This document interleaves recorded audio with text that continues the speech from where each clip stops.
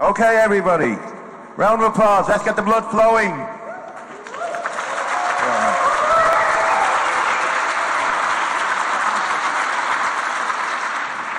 You see before you a man who at four o'clock this morning didn't think he was going to make it here, but he's somehow here thanks to coffee and, and fry breakfasts. And my esteemed friend and colleague Lawrie Phipps here on timekeeping. He's been great. Round of applause for Lawrie. Now, just to make things a bit interesting, all the speakers are expecting five minutes, but there'll be a random one person will only get two and a half minutes just for the crack of it. I, uh, let's pretend. We were pretending that it's there. Okay, we just started. We're only just going to be doing counting. We're doing a bit of singing then later on, and a bit of dancing and moving around. So we're all ready then for our Gasta. We just want the whole crowd, even the people up in the posh seats. I would have loved you to be down here in the middle, but hey, you know, that's, that's okay.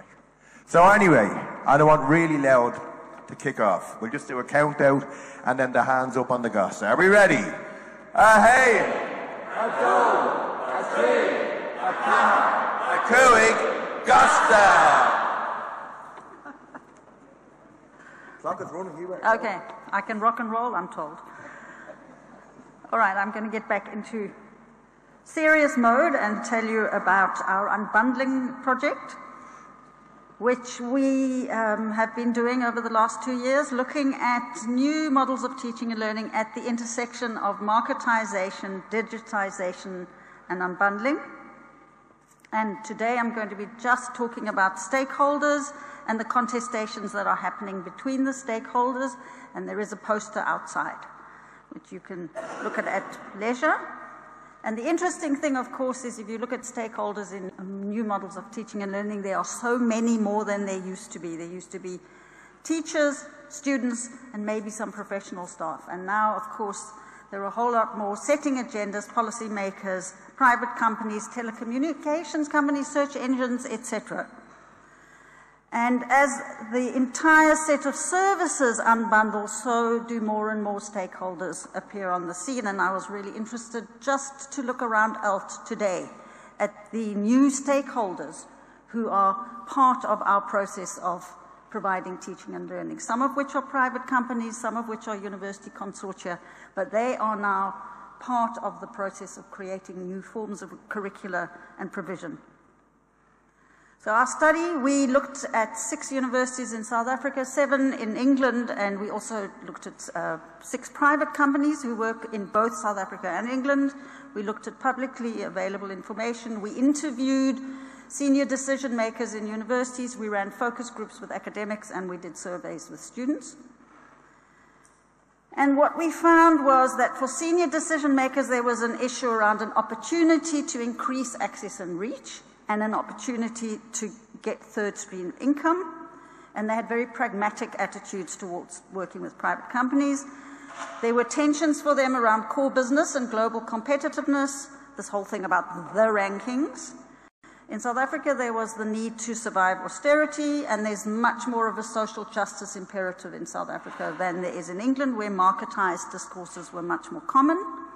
Private companies generally considered universities slow and inexperienced, they were very interested in the brand and in building trust, and they see themselves as the pioneers and prefer entrepreneurial universities, and I couldn't resist this quote. I had to take all the rest out. But one of them said to our researcher, it's just like taking candy from a child when you negotiate with higher education institutions. They are clueless about how capitalism works. And they will enter into agreements blind and be taken for a ride. We have more, but that one kind of sums it up. Academics were much more skeptical about the changing nature of universities and concerned about decision making, agency, and top down approaches. Now, I'm not really talking about uh, students today, but in terms of the contestations, we found that universities are balancing competing imperatives. They're actually stuck between a rock and a hard place around core business and generating third stream income and this need to, to, to generate revenue, sometimes for their core business. Um, there's a tension across the whole higher education system as they become more differentiated. And there are negotiations, negotiations and some alignment between companies and university decision makers and their rationale for these partnerships. But there are definitely contestations between decision makers and academics, and decision make and academics and companies. And there, there were really strong differences of opinion. There are serious negotiations around the control of the academic project and control of teaching, and around the question of outsourcing what's considered to be core business. And there's some real negotiation around the role of social capital, you know, the old boys network and how do we get to form these partnerships. So can I suggest if you're interested in this conversation, our MOOC on this topic starts next week. Two weeks of it.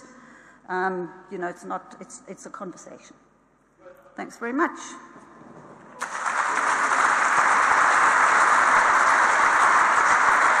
Well done, Laura. So, our next speaker's up. You get yourself ready. Now, I think we've enough people who disregarded my asks and suggestions, so they're going to have the people in the posh seats are going to have to do all the counting on this one themselves. So you'll have to make up, because there's not that many of you, so you'll have to count really loud. People just in the tiered seat and the tiered seat only, you're going to do all the counting. Everybody else, just sit back, put your feet up, and listen to the loud cacophony of noise that the people in the posh seats are going to make. Are we ready? And only for the posh people. Are we ready? That, that was really good. That was really good. This side, not so good. So I'm watching everybody. There's only about 28 of you, so I'm watching each and every one of you. Right? And I want all the people in the, in the poor seats to look at them and see who's not. See who didn't count out loud. Are we ready? Only up in the posh seats. Are we ready? Uh, hey. Gasta. Good afternoon, everyone. My name is Sho, and I'm a postdoc at the University of Tokyo. I'm going to talk a little bit about the development of a new MOOC on English medium instruction, EMI. So EMI means teaching academic subjects in English, and it's different from teaching English itself. To begin with, let me explain some background on this project. So we have already witnessed the internationalization of higher education and it's being synonymous with Englishization. We research in English, present our research in English, sometimes in five minutes, and we teach in English. The number of tertiary classes, courses, or even degree programs offered in English is increasing rapidly in non-Anglophone countries like Japan, where the provision of EMI doubled in the last 20 years, and nearly 30% of Japanese higher education institutions are now offering some form of EMI. Nevertheless, there is scarcity of training in how to teach in English. Researchers have also reported a lack of pedagogical guidelines for tertiary teachers who are assigned to teach in English. There is also a paucity of resources for such practitioners who need to develop their EMI competencies, by which I mean not only English proficiency, but also various various pedagogical skills such as managing international classrooms. Given these challenges, the University of Tokyo is developing a new MOOC on EMI in close cooperation with the University of Edinburgh. The MOOC is called U-Tokyo English Academia, which I shall call EA3. EA3 will be added to the U-Tokyo English Academia series. We launched EA1 in 2017 and EA2 in 2018. Both of them are online courses on academic English. So we are trying to help learners with a smooth transition from English as a subject to learn to English as a medium of their teaching. We use Open edX as a platform and EA has also already got 22,000 users enrolled. EA3 is comprised of 10 modules covering various topics such as what EMI is, why EMI has expanded in higher education across the globe, where EMI has increased, how EMI is conducted, and the perception and challenges faced by stakeholders such as teachers, students, administrators, and policymakers. Each module is comprised of pre-lecture activities that uh, are designed to stimulate learners' interest, lecture videos that explain the topics I mentioned earlier, post-lecture quizzes for comprehension check, and discussion forums where learners exchange opinions. Discussion forums also serve as opportunities where learners can raise awareness of their own or other local contexts. So EMI is truly a global phenomenon, but challenges faced by the stakeholders I touched on earlier differ from context to context.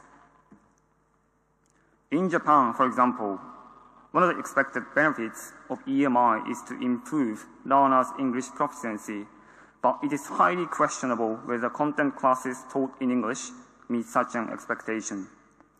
So our aim is to encourage learners to globalize or tailor the global boom of EMI to their own local contexts. A major contribution of this project to practice is to tackle with the scarcity of resources for not only EMI teachers, but also those who develop and implement EMI training. The MOOC we are developing can be mixed with offline micro-teaching sessions where learners demonstrate their teaching and evaluate each other. The project also increases profile of EMI, which has been seldom taught through MOOCs. So this is a brief overview of my project. The project has been delayed in my abstract, I wrote, I'm going to present preliminary data collected from learners, but actually we haven't launched EA3. So I'm afraid I can't tell you much about research into this project, but I'll be happy to answer your questions if any. Thank you.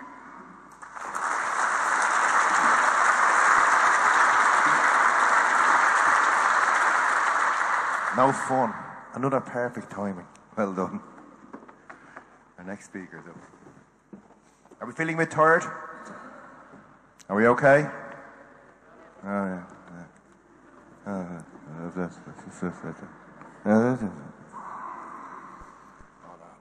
we'll have to get the hands up, the swaying, and it's great. It's, it's like, yeah, the four lads all sitting together. It's like a bobsled team down the back there. He's a absolute. One fella there, his hairstyle is ruining the look for the other three lads. Yeah, he needs to go or shave the head. We already get the hands up. We're going to go left to right. Get the hands up. Come on this afternoon. I'm watching everybody. People in the porch seat, get the hands up. Feet, come on. Are we ready? A Hain, a Doe, a Trinity, a Car, a Kuig, Gasta. Thank you, everyone. Um, hello. I'm a bit off my game today because I'm, i have a common cold, so please forgive me if I don't make sense. Not that I make sense all the time. Um, so I'm the piñata lady. I don't know if you have seen my poster. Um, I won't get into the piñata metaphor. You, you can watch the video. Uh, there is a QR code. Uh, so I'm, I'm, going to talk about my experience of um, being a change agent. So I never saw myself as a change agent or as a leader, right? And I'm very new to be, to consider myself a change agent. So in my mind, a leader or leadership is for someone to tell me what to do. Um, I would say the gentleman in the picture will be the image of a leader for me. He would be a white man telling me what to do.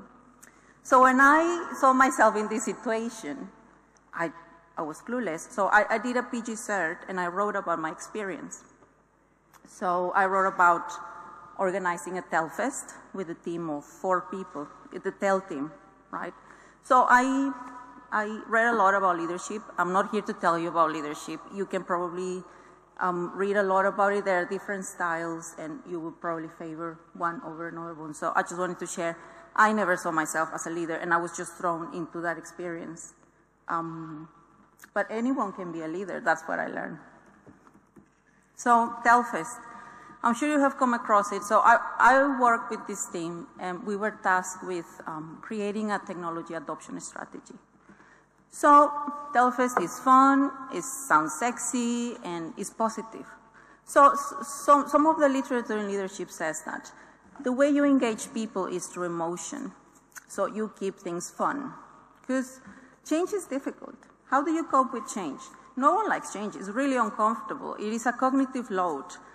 So we don't want more hassle in our lives. So when we are tasked with rolling out another, yet another technology to our staff, how do you do it? How do you pers persuade people that this is it? Because change is so fast and next month is a different flavor. So everything you try to teach people or look, this is so cool, you have to embrace it, it will change in two months. In a year, it will be a completely different thing. So Telfest sounded like a good strategy. So we organized it. There is a lot of um, positivity surrounding this. So it wasn't successful. 88% of change strategies fail. That's what the literature says. And I think I'm, I am an optimist, so I really I'm that kind of person that will just dive into things, and I always expect the, be the, the best outcome possible. But the truth is 80 88% of change strategies fail, and I wasn't aware of that. So I was deeply disappointed that people wasn't, people wasn't as excited as I was about embracing technology. What a shock. So when I wrote my reflection about this, so I'm, I'm the child trying to break the piñata, right? Is this wonderful experience of trying something new and really embracing it. So are, I'm, I'm here to give you a framework. Probably you know these things already because you're all pretty much very experienced, probably more experienced than I am. So people and process dynamics that you have to think about. So when it comes to people, the most important thing is people don't like change. So I feel like part of my job is to understand the psychology behind what motivates people. There are many different approaches, and I think it's our job to study a little bit about how do you reward people for being awesome.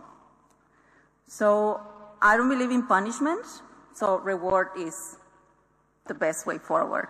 And the process dynamics, I think clarity of the outcome. What does success look like to you and to the, your institution? And when you have this in mind, you have a clear vision. What is success like? What does it lo look like? What percentage of people do you want to use this new technology? Then you have a clear framework. And then you can say that you're not part of the 88% of failure. Okay, I think that's all. Thank you very much. No phone, no fun.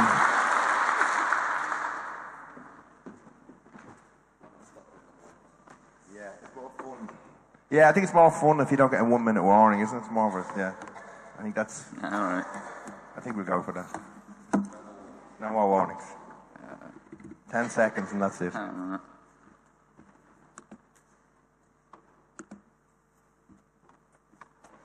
just have to wing it.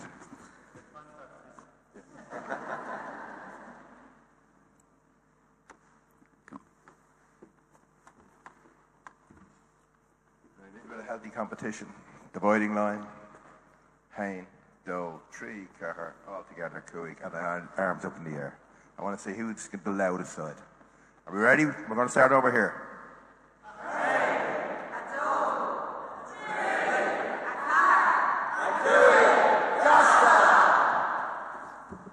Hello, um, I'm, I'm Chris Kennedy. I'm from Glasgow Dental School, part of University of Glasgow.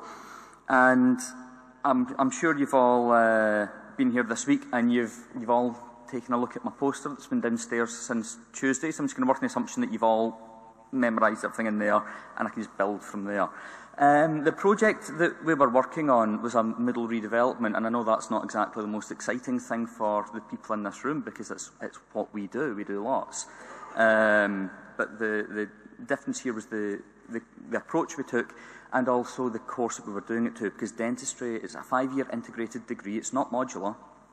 Um, and we've only got three teaching themes, which means that we've got three Moodles per year, which means an awful lot of content in each of the Moodles. And, and clinical dentistry, the one we, we're piloting on, is fair to say the biggest. Um, so what we end up with is a file dump with randomly named files, randomly placed. Um, the students don't know where things are, the staff aren't sure what file belongs to who. So when it comes to this time of year before semester starts, you're trying to clean it up, get rid of things you don't want students to see. Nobody really takes ownership of individual things. So that, there, there's an issue there. Um, so we've got some data about what the, the staff and students actually think about the current layout. And we found out that 14.8% of students can find resources every time. Um, the rest, no. Um, but that makes sense because only 40% of our staff know where they're supposed to be putting their files. Um, which is, is an issue. The other, the other issue that came out was the added functionality, the use of the active blended tools, the, all the different things that Moodle can do rather than just be a dump. 64% um, of students love this, these resources. They think it would really help their learning. Only 16.7% of staff actually do it, although on the bright side, 64% of staff say they would love support to be able to do it. So the staff are willing, the students are willing, but the structures at the moment don't really allow it. Um, so, it, you know, we'd say break it two phases. We've got let's fix the layouts, and then stage two is let's try and get more active blended learning brought in. That's quite a, a big job, um, and frankly, I wouldn't know where to start. So luckily, we found a framework um, because there's always frameworks. We love frameworks. Uh, this one is the, the Adekola et al. framework, and it's for the holistic framework to support effective institutional transitions into enhanced blended learning. Um, I could spend about an hour going over all the different parts, but the, the key bit for this is the circle in the middle. and I think it's the most important part, is stakeholders, um, and more specifically your students. Because if, if you don't have the engagement with your students, then what are you doing? Um, so as part of that, we, we decided to create a project team and we brought in students as partners, as co-creators, and got them involved on the ground floor. They co-own the project. Um, one of them referred to it as a hive mind mentality, which was interesting but nice. Um, so the, the, the staff and student problems we've gone into, it's on the poster, but the challenges we found was organisation, the layout is awful. You know what? See, having students sit down and help you design the layouts makes it so much easier because you remove those assumptions that we have. We know how the course is structured. The students don't. So we are making assumptions that they know what we know. Um, when they're in the room with you saying, that doesn't make sense to us, it makes you realise that, yeah, we should probably listen to them. Um, the awareness is a problem because the staff don't know what blended tools are available. So again, we got the students, we gave them a sandbox access to Moodle to play with the toys, and then when we meet with the staff to say, hey, why don't you try this? The students can put the examples forward and say, here's what we've tried out, here's some examples, why don't you do it in your course? This would really complement your teaching. And all of a sudden the staff are like, oh, okay, yeah, I'll give it a go. Authorisation, well, I think we're all aware of the bureaucracy at, at, in higher education. There's a lot of committees and levels to go through. Um, again, having students on side, makes it a lot easier because you say, hey, the students want to do this, so let's do it. And students get what the students want. Um, but the big barrier was time because we're short on time across the board. Um, even just to meet as a project team is really challenging, but I would say we were lucky enough to pilot uh, Microsoft Teams. Uh, made our job a lot easier to work as a team and to move forward with that. I'm running out of time. Um, but what it says, engage your students, trust your students, and you too can turn something like that into something less awful. Thank you. Well. Now, no pressure, but from my viewpoint, the right was very quiet and largely ineffectual. Oh, sorry, I was taking about Westminster there, sorry. right, this time we'll start off here with a hey, but I want to hear it a lot more gusto from the right.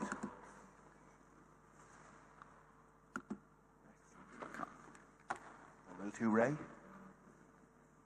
you ready? Yes, sir. Are we ready? that was another Are we ready?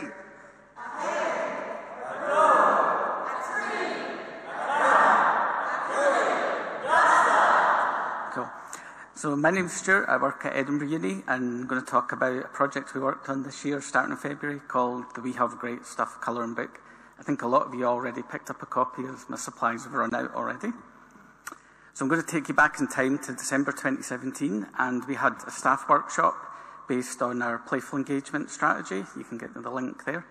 It was just a sort of brainstorming exercise, people coming up with random ideas to see how they could improve the quality of sort of work and life. And one of the ideas floated was taking advantage of the university's image bank and turning it into a colouring book. So these were very early prototypes. I'm going to take you forward to February this year. So the university runs a week-long series of events called the Festival of Creative Learning. And this is an opportunity for staff and students to run any sort of creative event. This is run from the Institute of Academic Development. And we put forward a proposal to start creating new images from the collection. And we ran two three-hour workshops. So this was the sort of overview, the format of the three-hour session. Students were encouraged to look at the image bank. There's 40,000 images in plus. Most of them are open license CC BY.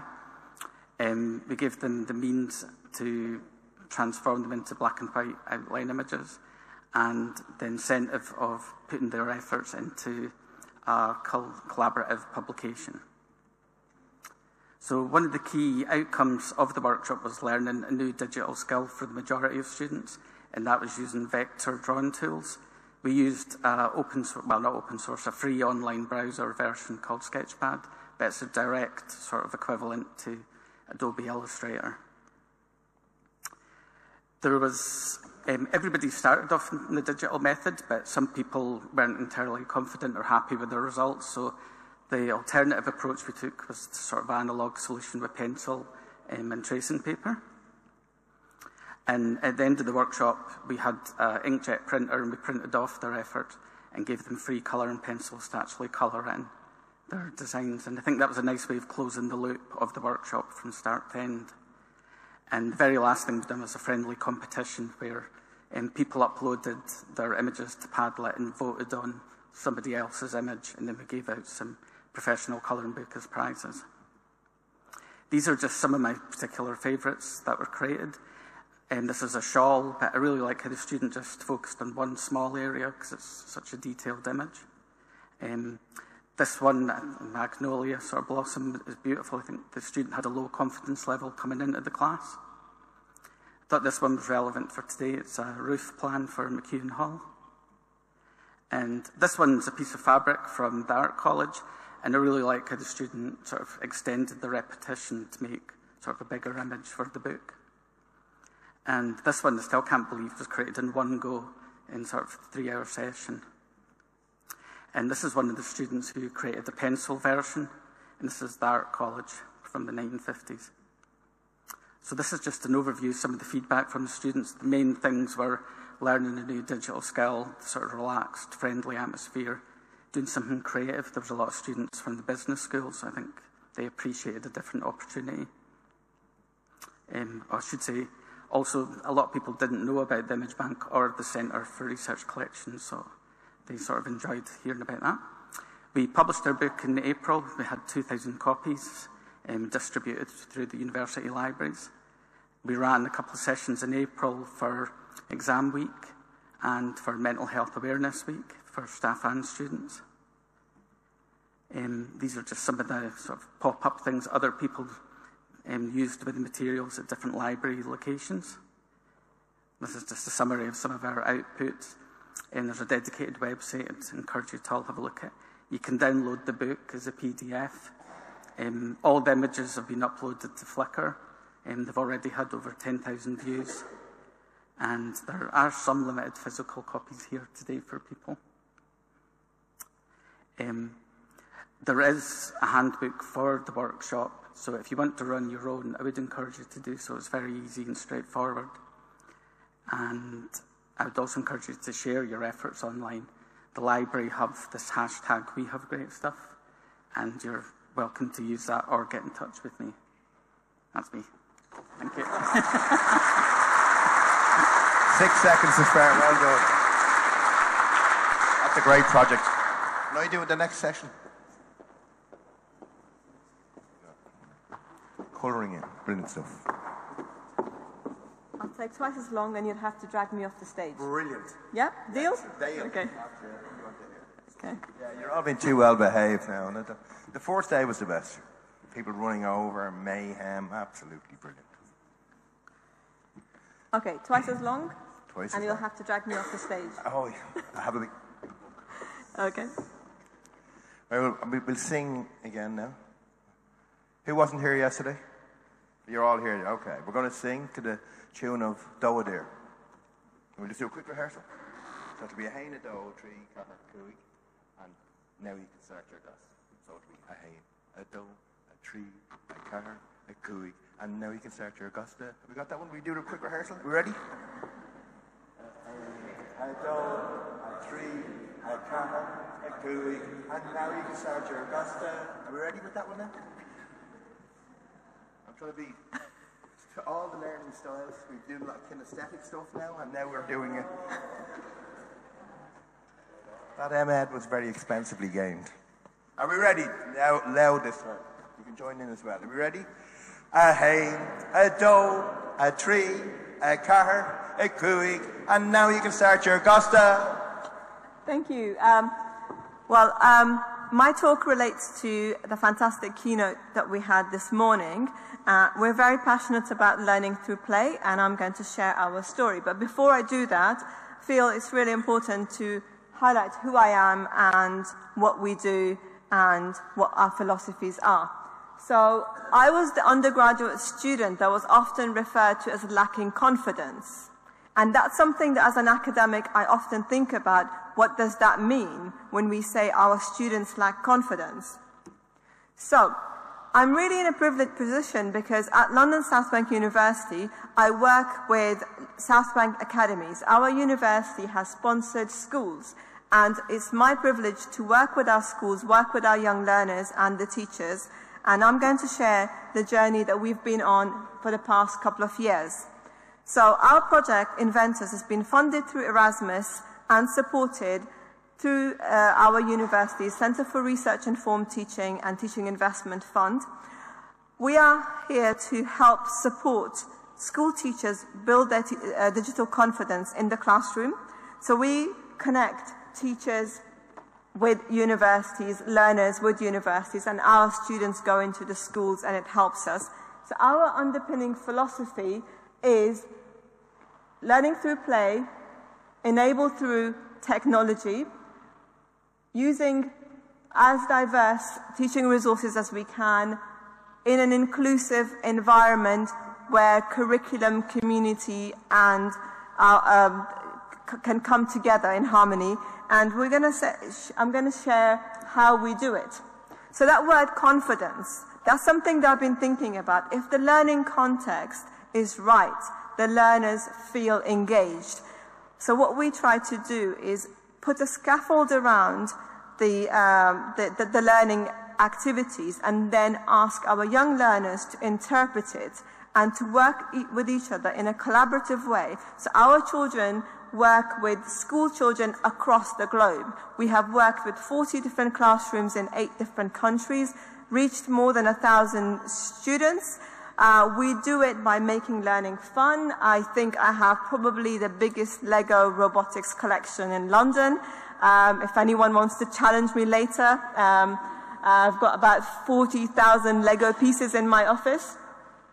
Uh, we make interactive sessions. We engage our senior staff in the university to work with our children, and our university students engage with uh, the, the school teachers. They work with the children, and together we create an environment whereby the children work on a topic um, around sustainable development environments, and they co-create. Um, stories using Scratch, and then they share these stories um, using various different uh, technologies. Um, as part of what we do, not only that we work with our school children, we get our school children to work with primary school kids, and then that that way the, the, the, kids feel more confident. They say, "Okay, we put we took part in a robotics activity. We learned from it." They come and give us feedback and say, how could we enhance your robotics activity? And then when we're teaching it to the primary school kids, how could we do that better than you? So I always love the fact that they come and tell me, what you did was not so good, this is how we can do it better. Absolutely love that. uh, as part of my job, I employ student ambassadors. They work with me. They're members of my team. Right now, they are training our graduate interns uh, this whole, throughout this whole week. And our students go into schools. They become role models. It helps boost their confidence levels. It, it gives them employment opportunities, raises their profile. At the same time, we are aware that our school teachers across um, the globe, we've worked with 270 school teachers in different parts of the world. They need support. They need support in terms of grappling with the technologies, whether it's Scratch or blogging tools or the way we operate in terms of our, pro uh, our program. Um, we help them, we support them with their learning needs um, we connect the teachers with each other. It was absolutely amazing to watch teachers in Philippines finding each other, knowing that, that the community that they worked with and how close they were to each other in the geographical location. And um, I know I'm running out of time. These are some of our children and some of the work they have done. Carry on. You'll have to drag me off the stage. Um, so uh, we hey, absolutely a Joe, love a tree, a car, a cuig, start. Thank you. I could have carried on, but thank you.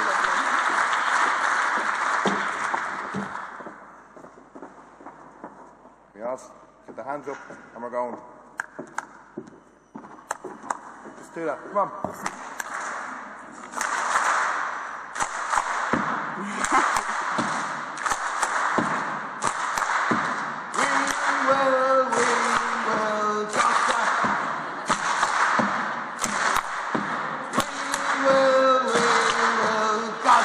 Go.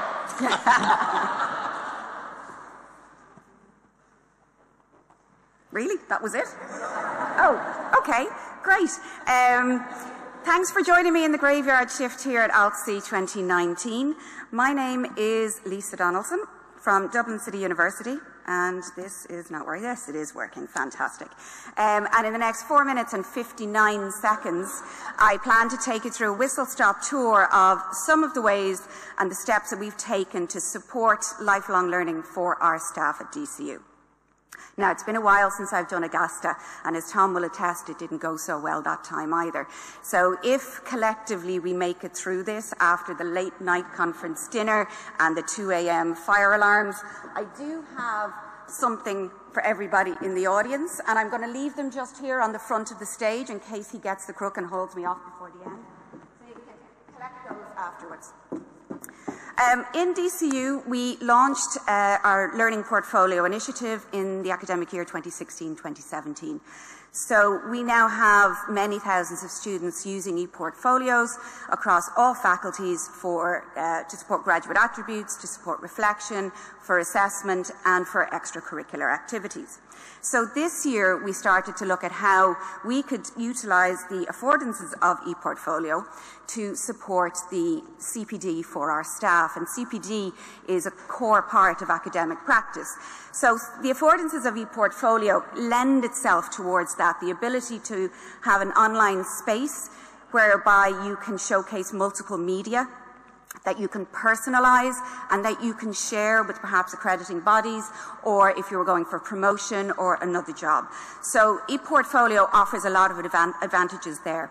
And what you're seeing there is just a, a snapshot of our ePortfolio system, which is based on Mahara. So these are just a few of the initiatives that we've been working on in this last year. Some are in very early stages. We have recently ad, um, adopted the uh, Advanced HE Fellowship scheme and what we are currently doing with the first cohort that are going through it is very much a paper-based exercise, but we're looking, and here's a sample on the left, we're looking that eventually that will move to ePortfolio to showcase the learning and accomplishment of our academics. Another area that we're in, working with in conjunction with HR is the Learn and Grow initiative for our researchers, and we've developed a customized e-portfolio template based on researcher-specific competencies that they will be able to use to, again, showcase their excuse me, their skills. I have no spit left at all. Showcase their skills. So um, that's going to roll out shortly as well. Within the TEU, Teaching Enhancement Unit, of which I'm a part, we offer many workshops to our staff, and we've created customized for every single workshop that we offer uh, reflection templates, which we now automatically send out after the workshops.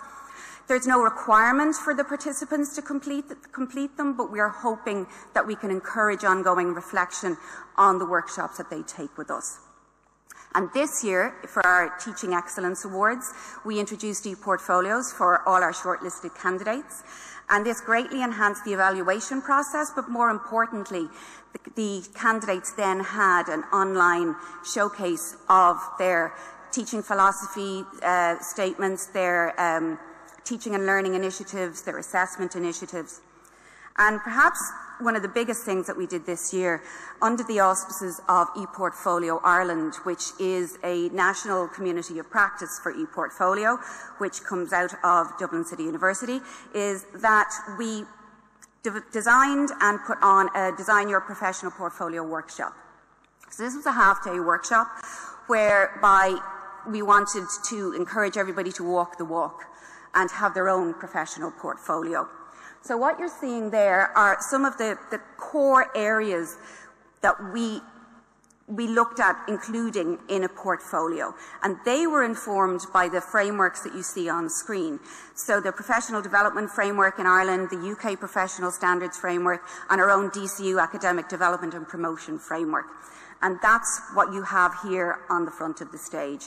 It's those categories or sections that if you are looking to showcase your own CPD, these are the ones he's going to start walking. These are the things that you should look at having in your e-portfolio. So uh, I'd like to invite you to take one of those when I'm hauled off the stage and hopefully it can be a starting point for your own professional portfolio. Thank you.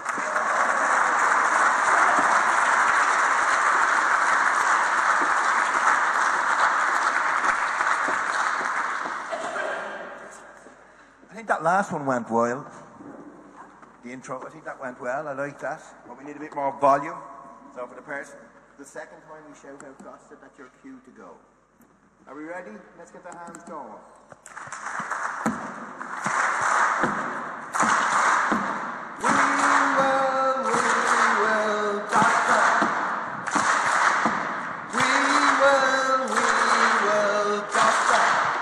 Hi, um, so my name is Andrew Millington, and I'm a developer from the University of Edinburgh. I'm going to speak about how we used LTI to extend our VLE. So, two years ago, I became involved in the academic blogging service, which is a central blogging service for the University of Edinburgh that is used primarily to um, support teaching and learning activities. And when we were setting up this project, we had a number of requirements for it. We wanted it to be easy to use with low barrier to entry, ideally integrated into our virtual learning environment. We also wanted it to be customizable because we acknowledged that not every blog would have the same purpose. So we wanted to have different tools available to the blog authors and we also wanted to have different uh, themes and looks. We also wanted it to be portable. So we wanted the blog authors to be able to own their actual content. If they wanted to, they would be free to download the blog and lift it and put it on another platform of their choice. We also wanted the blog to be public um, or private if they wished. If it was public, they would be able to share their ideas outside of the normal um, university colleagues and perhaps with the wider world to get more ideas. And finally, as a bonus, we would have liked it to have been open source platform as well, so that we could understand what the system was doing with our data, and also we could use the developers at the university to expand upon the service if we wanted to. So in our commercial uh, VLE, we have a blogging system, but unfortunately, as you'll all know, VLEs tend to be Swiss Army knives. They provide a lot of different tools, but they're not always the best ones for the job. For example, you're not going to use that little corkscrew to open up a bottle of wine if you have a fancy corkscrew um, in your kitchen with the little handles on that you can pop up easily. And that's what we felt about the blogging system in our commercial VLE. It didn't allow us to make our blogs public. It didn't allow us to easily download that data. It didn't allow us to easily extend that or change the look and feel of it. But it did integrate well with the virtual learning environment. However, there was a system that did work well for most of our requirements, and this was WordPress. WordPress allowed us to customize the VLE. It allowed us to download and export the data. It allowed us to make the blogs public, and with a bit of tweaking, we could make it private as well. But the one thing that was missing for us is it wasn't easy to integrate with our existing tools and our virtual learning environment. Now, in the PHP world, you have web application frameworks, and I'm a PHP developer. And web application frameworks give you the bare, the bare tools to make any web application. So this is data inter, database integration, email integration, form validation. And CodeIgniter up the top there used to be the um, Swiss Army knife of, uh, of the PHP framework world. And as time went on, people realized that the tools that it was using weren't always needed or weren't required. So Laravel and Symfony came about and they were more modularized. They allowed you to rip out bits and pieces of it and replace it with systems that you wanted to instead. And that became a big mess because people realized that they weren't always interchangeable.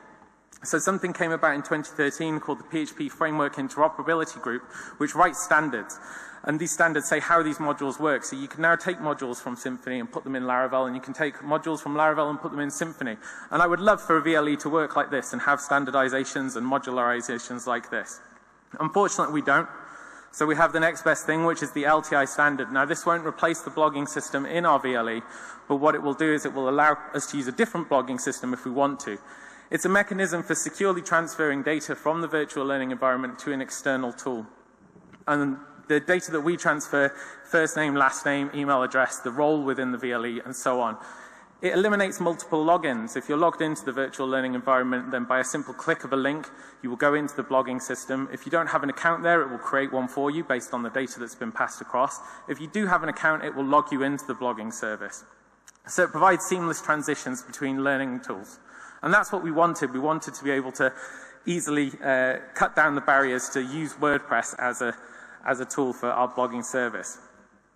So what we did was we created a WordPress LTI plugin. And this plugin has two modes available to it. The first is a course blog mode, and what that means is that if you have an LTI link in your course, then anyone that clicks on that will be added to the same blog. So all students will participate in a single blog. Alternatively, you can have a student blog mode, which means that any student that clicks on the link will get their own blog, and the lecturer will be added to that blog as well. And when the lecturer logs into WordPress, they will see a list of all of the student blogs that are associated with a particular course to be able to go in and read about them. We've made this uh, plugin open source. Um, it's available at github.com forward slash UOE dash DLAM forward slash edlti, and it's licensed under the GNU version 3 uh, license. We wanted to do this to allow people to download it, so please go and try it out, and yeah, hopefully you'll be able to extend your VLE as well. Thank you.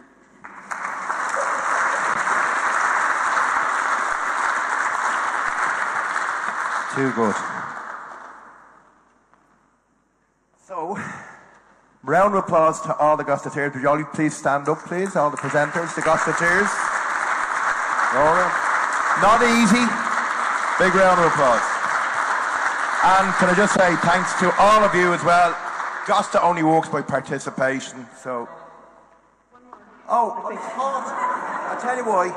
You weren't sitting in the right place. All right. Your chance is gone. I can't guarantee five minutes though.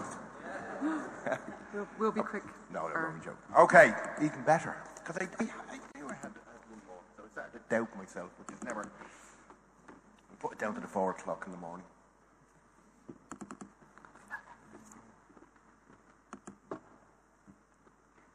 Martin. Somewhere over the rainbow, way up please stop me singing and get that thing to work. I'm running out of songs to sing, and here we go. Are we ready? Yes. Gonna be up on the one, down on the two, up on the three, down on the four, up on the five, hands up, and I mean the loudest shout of Gasta of the whole day. Particularly the people up in the cheap seats. Yeah, you, you know, your bum has sat on a nice soft seat for the whole day, and Poor lads are sitting on the wood. Are we ready? Ahain! Uh, and watch, stop, stop, stop, stop. There's people not doing it. Right? It's one last thing. People say, oh, the graveyard shift and falling asleep. I'm giving you an opportunity to stand up. I'm making sure they're not waffle on for more than five minutes. Even if it's... So, all we ask is get the blood flowing. Are we ready? Sweat that drink out of you. Are we ready? Ahain! A ah, A tree, a car, a kuig. Okay, hello. We're last but hopefully not least. Um, I'm Cara, and this is my colleague Lucy. And as you can see from our first slide, this is what we do. Between us, we have over a decade's experience working within higher education as digital media producers, generating a wide variety, variety of video and audio assets. We wanted to share with you today one or two of the common assumptions and misconceptions that we've encountered surrounding approach to creating media content that, if overlooked, can hinder an institution's development of sustainable media practices. So this quote is from a paper that presents an overview of current video practices, and reflects on the relevance of production value in support of learning. So the quote reads, we encourage an approach that prioritises learning and pedagogy over glossy high production value videos. A DIY approach to production prioritises media literacy for content experts. So while no one can argue with the fact that learning and pedagogy is always the priority, here, and from our experience, this value is separated from the contribution of the media expert. If I was someone without media experience reading this, I would be forgiven for thinking that media specialists only contribute superficially to the making of media assets. But media specialists offer something other than merely glossy high production values. Collaboration with a media expert will allow you to define your goals and approach, be it DIY or otherwise. And to define quality, you have to create a brief. Any quality output is output that meets that brief. High production values isn't just gloss, it's meeting your learning goals in the most efficient and impactful way, and media producers can support those learning goals. We're trained in knowing what approach will best communicate your content. That's our value. So here's Shai. He's one of our course leaders at Edinburgh Business School. And Mary Jane, who's there as well, is our content developer. Neither of them had any experience of working with media before Lucy and I came on board uh, with the team. We've collaborated with them over the course of a year, developing media content for the new MBA programme. And as you can see from the photos, we've created a wide variety of outputs and approaches. And so here is what Shai and Mary Jane have got to say about their experience. Well, it started with no experience at all. I didn't know what to expect with the media. I kind of thought that would be something where we just you would just get on with it, and we wouldn't need to be involved. I, I couldn't understand what is expected out of me.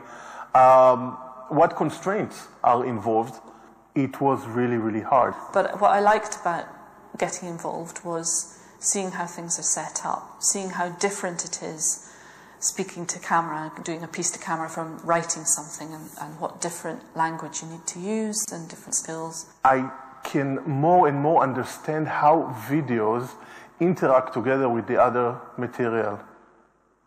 So hopefully you can hear from them, and there's the transcript that you can look at, um, how this really has been a process. It's much more of a dialogue. It's a nurturing of trust and mutual respect. And this kind of leads to an emerging voice and identity, which you could call media literacy. So rather than separating media specialist from content, and that's really anyone involved in content, whether that's a learning technologist or designer, whether it's an academic, integrating them into your culture is absolutely key to sustainable practices. And that's us integrating with our team behind the Lightboard. Um, we can help you to find your voice, and once it's there, optimize its impact. So collaborate with media specialists for a literate and therefore authentic and therefore sustainable practice. Um, our poster expands on that further. And please get in touch. Um, if you have any questions, we've got lots of references, lots of resources, lots of ideas. Thank you, Tom. Well done, well done.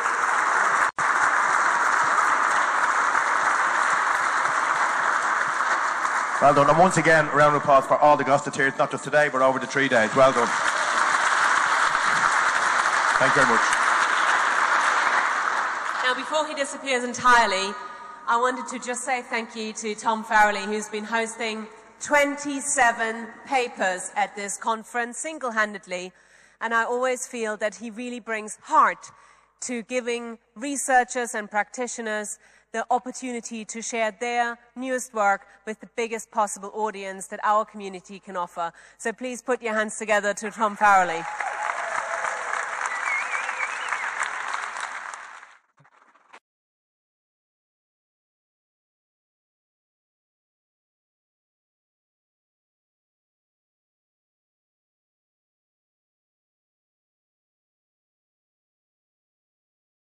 Edina's work with learning technologists helps to develop skilled, data literate students who can change our world for the better. Teachers and students can develop and share coding skills with Noteable, our Jupyter Notebook service. Our Digimap services deliver high quality mapping data for all stages of education. Future developments include a text and data mining service, working with satellite data and machine learning, and smart campus technology.